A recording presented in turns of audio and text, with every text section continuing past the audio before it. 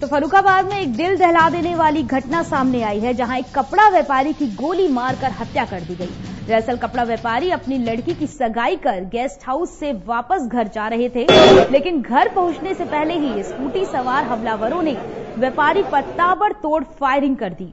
व्यापारी ने अस्पताल में दम तोड़ दिया। घटना के बाद आरोपी मौके से फरार हो गए। पुलिस ने मामले की जाँच शुरू कर दी है।